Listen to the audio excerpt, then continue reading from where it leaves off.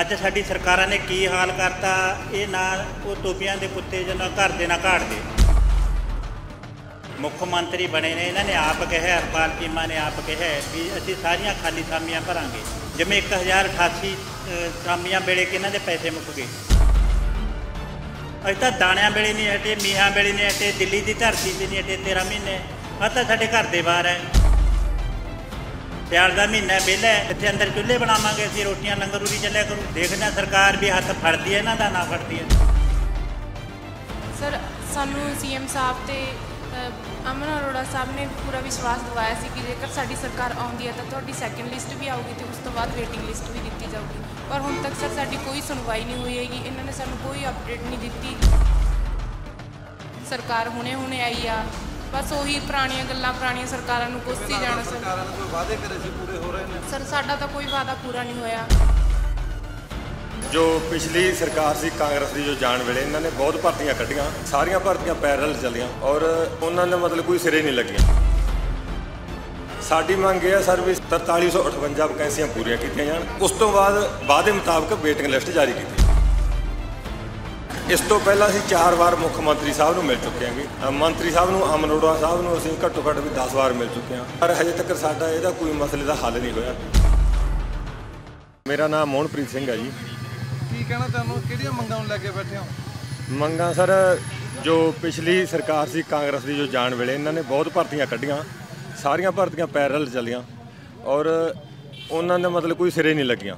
ਉਸ ਤੋਂ ਬਾਅਦ ਜਦੋਂ ਪੰਜਾਬ ਸਰਕਾਰ ਆਮ ਆਦਮੀ ਦੀ ਬਣਨ ਵਾਲੀ ਸੀ, ਇਹਨਾਂ ਨੇ ਵਾਅਦਾ ਕੀਤਾ ਸਾਡੇ ਨਾਲ ਵੀ ਪੰਜਾਬ ਪੁਲਿਸ ਦੀ ਕਾਂਸਟੇਬਲ ਦੇ ਵਿੱਚ ਵੇਟਿੰਗ ਲਿਸਟ ਜਾਰੀ ਕਰਾਂਗੇ। ਉਸ ਤੋਂ ਬਾਅਦ ਪ੍ਰੋਸੈਸ ਚੱਲਿਆ ਸਰ ਜੁਆਇਨਿੰਗ ਹੋ ਗਈ। ਬੱਚੇ ਛੱਡ ਕੇ ਹਾਇਰ ਲੈਵਲ ਵਾਲੀਆਂ ਪੋਸਟਾਂ ਦੇ ਵਿੱਚ ਚਲੇ ਗਏ, ਜਿਵੇਂ patwari ETT teacher cooperative bank ਜਾਂ ਐਕਸਾਈਜ਼ ਇੰਸਪੈਕਟਰ ਇਹਦੇ ਵਿੱਚ 1000 ਪਲੱਸ ਵਕੈਂਸੀਆਂ ਖਾਲੀ ਰਹਿ ਗਈਆਂ। ਸਾਡੀ ਮੰਗ ਇਹ ਹੈ ਸਰ ਵੀ 4358 ਵਕੈਂਸੀਆਂ ਪੂਰੀਆਂ ਕੀਤੀਆਂ ਜਾਣ। ਉਸ ਤੋਂ ਬਾਅਦ ਵਾਅਦੇ ਮੁਤਾਬਕ ਵੇਟਿੰਗ ਲਿਸਟ ਜਾਰੀ ਕੀਤੀ ਜਾਵੇ। ਇਸ ਪੱਕਾ ਮੋਰਚਾ ਲੱਗਿਆ ਤੁਹਾਡਾ?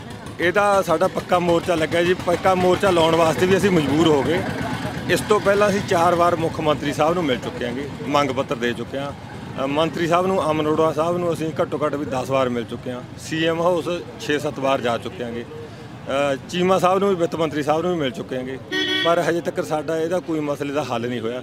ਇਸ ਕਰਕੇ ਅਸੀਂ ਧਰਨਾ ਲਾਉਣ ਵਾਸਤੇ ਮਜਬੂਰ ਹੋ ਗਏ ਜੀ। ਨਾਮ ਕੀ ਹੈ ਤੁਹਾਡਾ? ਹਰਪ੍ਰੀਤ ਕੌਰ। ਕਿੱਥੋਂ ਆਏ ਹੋ? ਸੁਨਾਮ ਤੋਂ ਹੀ ਹਾਂ ਜੀ। ਕੀ ਕਹਿਣਾ ਚਾਹੁੰਦੇ ਹੋ? ਕਿੱਥੇ ਬੈਠੇ ਹੋ? ਕਿਹੜੀਆਂ ਮੰਗਾਂ ਨੂੰ ਲੈ ਕੇ ਬੈਠੇ ਹੋ? ਅਸੀਂ 43 58 ਭਰਤੀ ਦੇ ਕੈਂਡੀਡੇਟ ਆ ਸਰ ਸਾਨੂੰ ਸੀਐਮ ਸਾਹਿਬ ਤੇ ਅ, ਅਮਨ ਅਰੋੜਾ ਸਾਹਿਬ ਨੇ ਵੀ ਪੂਰਾ ਵਿਸ਼ਵਾਸ ਦਿਵਾਇਆ ਸੀ ਕਿ ਜੇਕਰ ਸਾਡੀ ਸਰਕਾਰ ਆਉਂਦੀ ਹੈ ਤਾਂ ਤੁਹਾਡੀ ਸੈਕੰਡ ਲਿਸਟ ਵੀ ਆਊਗੀ ਤੇ ਉਸ ਤੋਂ ਬਾਅਦ ਵੇਟਿੰਗ ਲਿਸਟ ਵੀ ਦਿੱਤੀ ਜਾਊਗੀ। ਪਰ ਹੁਣ ਤੱਕ ਸਰ ਸਾਡੀ ਕੋਈ ਸੁਣਵਾਈ ਨਹੀਂ ਹੋਈ ਹੈਗੀ। ਇਹਨਾਂ ਨੇ ਸਾਨੂੰ ਕੋਈ ਅਪਡੇਟ ਨਹੀਂ ਦਿੱਤੀ ਨਾ ਹੀ ਸਾਡੀ ਕੋਈ ਲਿਸਟ ਜਾਰੀ ਕੀਤੀ ਹੈਗੀ। ਬਸ ਸਰ ਚੁੱਪ ਬੱਟੀ ਹੋਈ ਹੈਗੀ ਸਭ ਨੇ।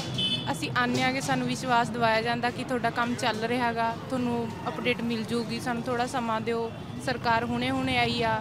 ਬਸ ਉਹੀ ਪੁਰਾਣੀਆਂ ਗੱਲਾਂ ਪੁਰਾਣੀਆਂ ਸਰਕਾਰਾਂ ਨੂੰ ਕੋਸੀ ਕਿਵੇਂ ਜਾਣਾ ਸਰ। ਸਰਕਾਰਾਂ ਨੇ ਕੋਈ ਵਾਅਦੇ ਕਰੇ ਸੀ ਪੂਰੇ ਹੋ ਰਹੇ ਨੇ? ਸਰ ਸਾਡਾ ਤਾਂ ਕੋਈ ਵਾਅਦਾ ਪੂਰਾ ਨਹੀਂ ਹੋਇਆ।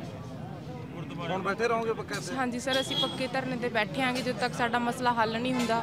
ਮੈਂ ਭਾਰਤੀ ਕਿਸਾਨ ਯੂਨੀਅਨ ਗਰਾਹਾਂ ਜਰਨੈਲ ਸਿੰਘ ਪਿੰਡ ਖੜਿਆਲ ਕਾਈ ਪ੍ਰਧਾਨ।